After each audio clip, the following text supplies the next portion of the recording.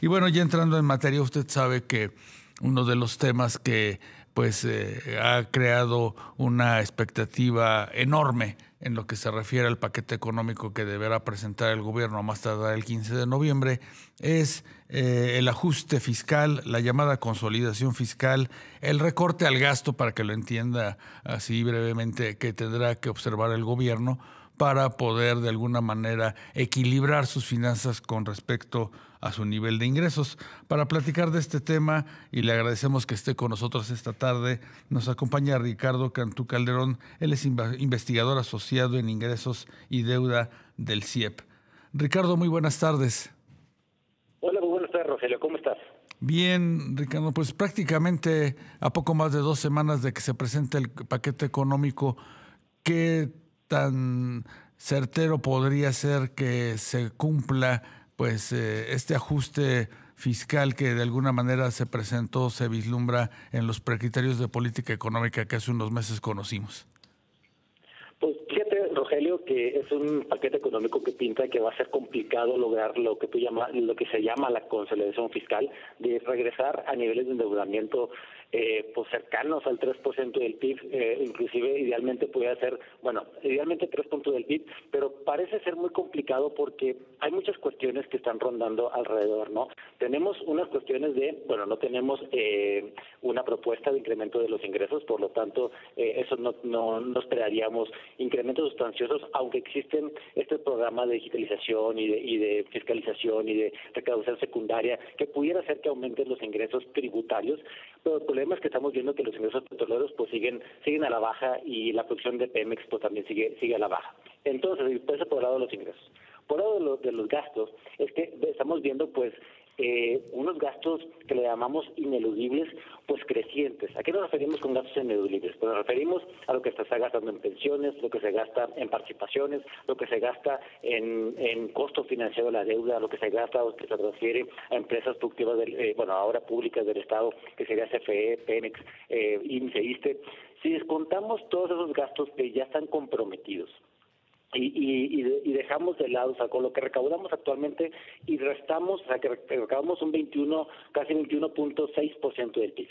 Si le restamos todos esto de que cuánto gastamos en el costo financiero de la deuda, cuánto gastamos en lo que transferimos a Estados municipios a través de participaciones, que no se, no se puede reducir, lo que gastamos en pensiones, lo que gastamos en en esto, en estas empresas eh, Pemex, FE, IMSE, ISTE, nos quedamos con un, un, un espacio fiscal bastante bastante reducido. Nos quedamos básicamente este como como cuatro puntos del PIB eh, de, para para gastar en todo lo demás en todo lo demás que significa educación, significa salud, significa seguridad, significa eh, otro tipo de, de, de, de lo, que sería el, el, poder legislativo, el poder judicial, todos los salarios, todo el resto de salarios y otras inversiones como carreteras y demás.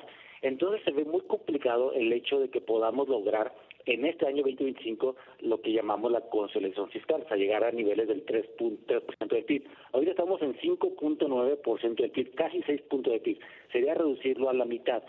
¿Cómo lo podemos reducir? La verdad es que no encontramos una, no se encuentra que en el corto plazo podamos llegar a eso, eh, solamente por lado del gasto, porque pues no se ve, no se ve viable. Eh, se, se había mencionado que eh, eh, proyectos prioritarios de la anterior administración, como el Tren Maya, como lo del AIFA, Dos Bocas, pues no son gastos recurrentes y por lo tanto eso también iba a ayudar a que se redujera el déficit en este año 2025.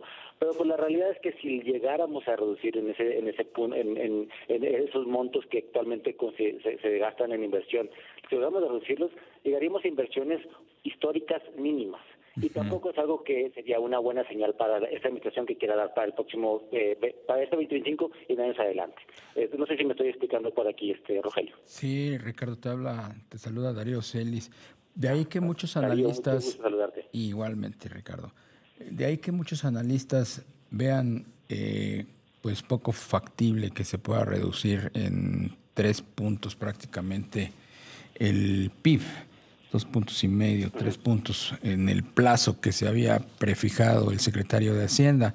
Y de ahí que estén hablando de que lo más razonable, lo más alcanzable pudiera ser que en el primer año se redujera un punto porcentual del PIB.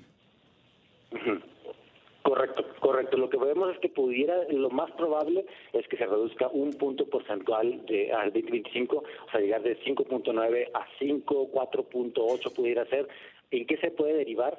Pues estamos viendo que las tasas de interés este, están reduciéndose, eso puede darnos un poquito de margen de lo que estábamos pagando en ese 2024, probablemente para el 2025 se reduzca un poquito, pero eso sería también insuficiente para lograr la consolidación fiscal. Tenemos muchos compromisos, eh, las pensiones siguen creciendo, eh, los estados y municipios pues siguen necesitando estas transferencias de participaciones que se hacen, eh, si bien también se habló de que se quiere gastar menos en, en Pemex, pues también eso tiene implicaciones, ¿no? También de qué va a pasar con Pemex, con la deuda de Pemex, con la producción de Pemex, eh, qué va a pasar con, con los ingresos petroleros que vienen a la baja, pues la verdad es que no queda claro y se ve muy poco probable, no imposible, pero muy poco probable que se logre en ese 2025. Probablemente podamos lograr otro punto para el 2026, pero sí se nota, sí se ve una, una panorama muy complicado regresar a niveles de endeudamiento que puedan ser sostenibles en largo plazo. Claro. La alternativa en ese sentido sería buscar nuevos ingresos. Este Ricardo, eh, ¿en qué sentido podría alcanzar el próximo gobierno o el gobierno, perdón, de la doctora Sheman, el gobierno actual, este este nivel de ingresos que permita pues mantener, como tú dices, gastos ineludibles? Claro, pues una de, de las eh, cosas que nosotros eh, mencionamos es que también necesitamos entender que la recaudación no solamente es del gobierno federal, sino también, sino también de los estados y los municipios, que ellos han sido muy eh, pues dependientes de lo que la federación les transfiere por las participaciones y aportaciones. Entonces, bueno, esto estamos hablando de un poquito, un detalle más complicado porque estamos hablando de otro tipo de órdenes de gobierno, pero también hay que entender que pues el predial es algo importante que puede ser ah, importante la recaudación, también el, eh, cuestiones de, tenencia u otro tipo de impuestos que puedan ser eh, progresivos, que no afecten al bienestar social este, y que generen recursos, no solamente para el gobierno federal, sino también para los municipios.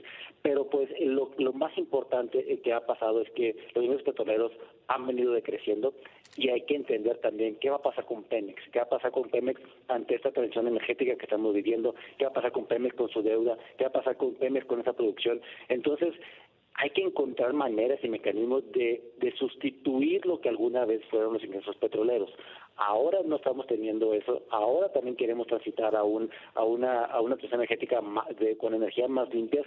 Entonces es un planteamiento en donde tenemos que pensar no solamente bueno dónde vamos a reducir los gastos que también es muy importante entender eso, pero también entender en el largo plazo los ingresos pues tal vez eh, sobre todo los petroleros pues están decreciendo. Y eso es un, algo que históricamente México ha venido eh, pues eh, apalancándose de estos ingresos y qué va a pasar cuando no existan, qué va a pasar cuando ya no ya no exista este, este, esta producción petrolera que nos satisfaga este tipo de, de, pues de compromisos que tenemos.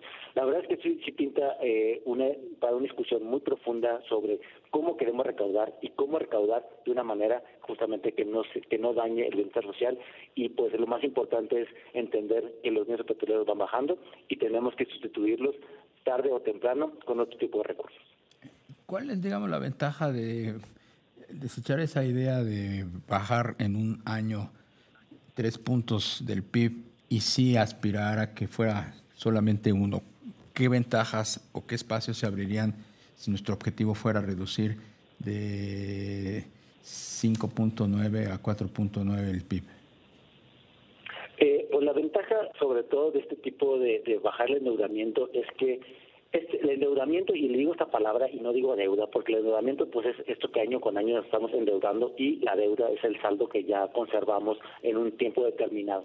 Lo importante eh, hay que entender es que si bien nuestro nivel de deuda como porcentaje del PIB es relativamente pequeño con, otros países, nuestro costo de la deuda es, es, importante. Estamos gastando en costo de la deuda, costo financiero de la deuda, de intereses y gastos relacionados con la deuda, deuda 3.9% del PIB. Si comparamos eso con lo que gastamos en salud, estamos en 2.9%. Si, si, de punto de PIB lo que gastamos en salud en todo el país, en todas las instituciones. ¿Cuánto gastamos en educación? 3.2, 3.3. Estamos gastando más en costos de la deuda que en estos eh, rubros prioritarios. Entonces, si no logramos reducir el endeudamiento, lo que va a implicar es que pues la deuda va a seguir creciendo y no solamente eso, el costo de la deuda también va a venir creciendo y por lo tanto va a hacerse todavía más pequeño el espacio fiscal. Este, el costo de la deuda es un gasto ineludible y si esto sigue creciendo, pues tiene que desplazar otro tipo de gastos. El más común ha sido el de gastos de inversiones eh, en infraestructura, en, carreteras, en aeropuertos, que bueno que, podemos encontrar ahí este diferentes eh, matices, pero ese es el más común que se reduzca. Pero igual hay que entender que eso impacta en el crecimiento económico, impacta en la productividad laboral, que la productividad laboral eh, que de 2024 estamos por debajo a la de 2005.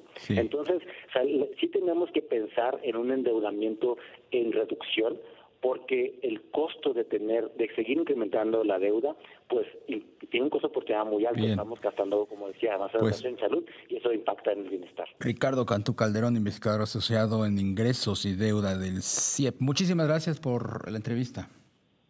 Darío, Rogelio, un gusto saludarlos y a todo tu auditorio. Muchas gracias.